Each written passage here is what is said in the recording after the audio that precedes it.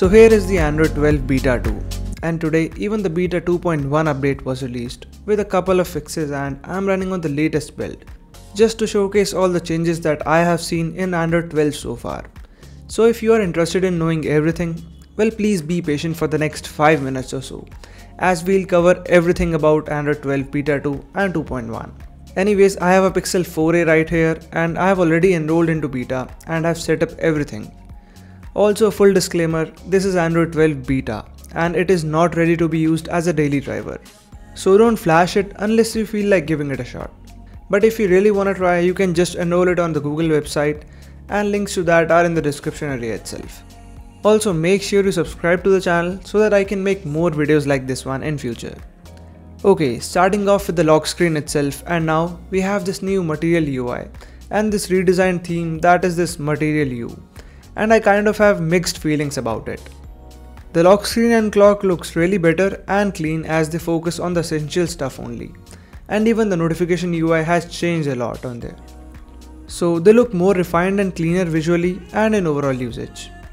Next up, if we long press on the home page, we have this new animation and some changes to the wallpaper app. Well that has also been done to keep it more in line with this new Material You theme. We also have this new widget picker and some new widgets as well. And some of them are coming with the upcoming builds, like what was shown in Android 12 video by Google. And they will look really good. Also we now have this new UI in Task Manager and it looks a bit cleaner I would say. And this app closing animation is also different this time around. The screenshot option also has some refinements and the animation now looks a bit better. Coming to the notification panel and just like in the beta one, and though I appreciate the bigger toggles, I really feel awkward about this brightness toggle and especially that stick behind it. I think it looks a bit awkward. I don't know, it's just me maybe. There is also this extra dim option that reduces screen brightness to less than usual and the mobile data tile is also gone now.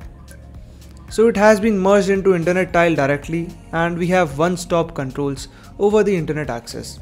So that makes it a bit easier to toggle between the things. Also in the notification bar we now have three different tiles to block the camera, location and microphone access from each and every application. And this one tap kill switch really removes some privacy concerns. Next up, the notification tiles have also changed and they are in these rounded cards which makes them look a bit cleaner with more notifications. And the way they are stacked makes them look really nice and this new notification shade animation looks quite awesome and different too. On the top of notification drawer we have this mic, location and camera indicators just like in iOS and these tell which permission is being used by which application and again a good privacy focused feature. Talking about the privacy controls, we also have a privacy dashboard now that tells about what permission was used and when, and even the sensors and other usage too. And we can block all the access with one single permission page. So that is really handy and a step in right direction by Google. After that the power menu has now changed to and looks like this is more reachable with one hand. I would say it looks somewhat out of sync as compared to other UI elements or maybe it's just me. In the smaller changes part, well, we have this new volume toggle as well which is goodish, but again that stick things behind it makes it look a bit awkward. And I also observed that whenever we have multiple toggles, they just interfere with each other and look like a mess. I'm pretty sure it is a bug and Google will resolve it soon. So let's see how it goes. We also have this new conversation widget that holds up the shortcut to whatever conversation you wish to access in a tab. So that's good too. Next up we have something similar to iOS and this brings whole UI downwards instead of playing with the icons. So you can swipe from top to bottom on this gesture bar and it will enter into this one-handed mode. To exit it just simply tap on the empty area or it will do that automatically for you after a few seconds which is also handy. In gestures we have this new long press for power menu or assistant option and that will trigger Google Assistant when you long press on that power key. We also have redesigned pin and pattern pages and they look decentish and I like the animations here mostly. So this pattern here has this trail now and the pin menu has these new weird animation stuff. The UI of settings has also changed and is now this colorful one-handed theme with new overscroll animation and it looks a lot like One UI to be honest. We also have this new battery tab along with a new graph indicator.